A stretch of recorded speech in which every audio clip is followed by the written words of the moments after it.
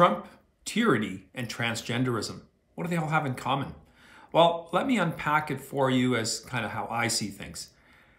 It seemed, at least last week, that the indictment, the grand jury indictment on Trump wasn't going to happen. They realized, the grand jury, Mr. Braggs, that he didn't have much of a case, and it seemed, from all accounts, that this was going to go away. However, yesterday they did the unthinkable, crossed the Rubicon, did something absolutely that's never been done by indicting a former president and actually somebody who is a current candidate. Those are the things of banana republics. That's what happens when one party weaponizes the apparatus of government to go after another party. That's really what's happened here. This isn't about Trump. And, you know, ultimately it boils down to a system and a system that's showing that it's under stress at best, and if not, it's collapsing. The reality is that one party should not be able to weaponize against their political rivals. This should never happen. And you can tell this has happened from the tweet that Nancy Pelosi put out, where she said, the president now has the opportunity to prove his innocence. Um, hmm. For somebody who sat in government for so long, it seems like she's pretty brain dead.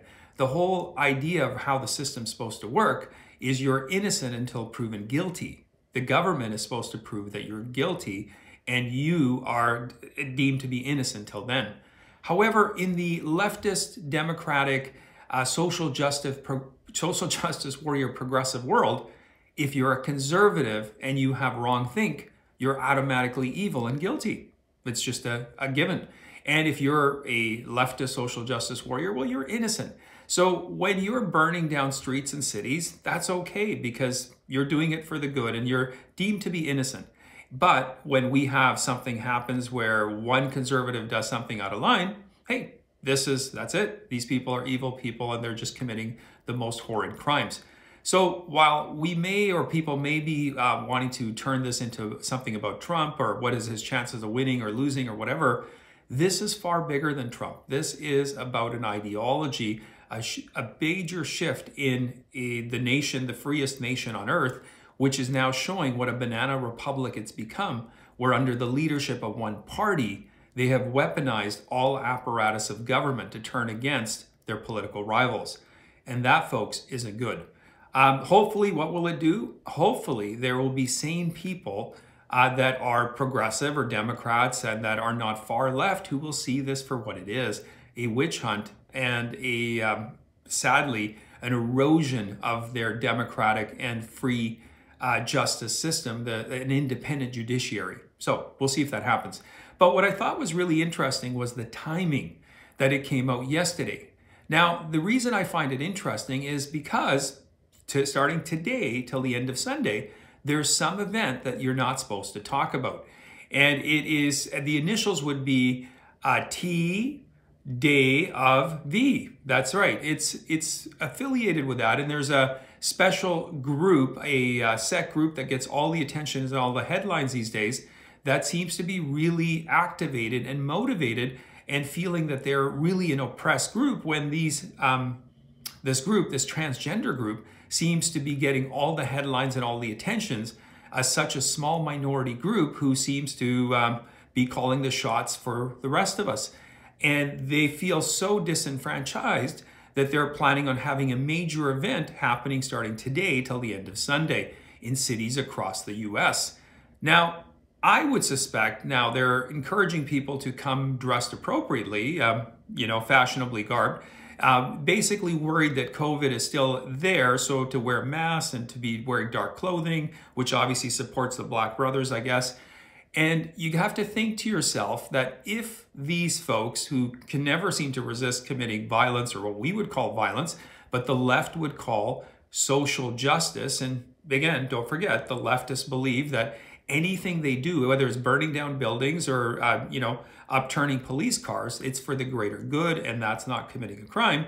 We may see some of that. But if that happens, could that get mixed up with potentially people or could it be painted that these are actually Trump supporters who are doing all of these things? Hmm.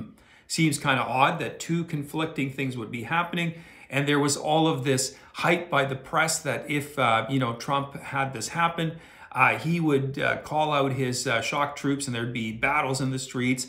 So I would kind of find it interesting that if some form of violence does occur from today till the end of Sunday because some special interest group is promoting it, does it have anything to do with Trump or will it automatically be aligned that way?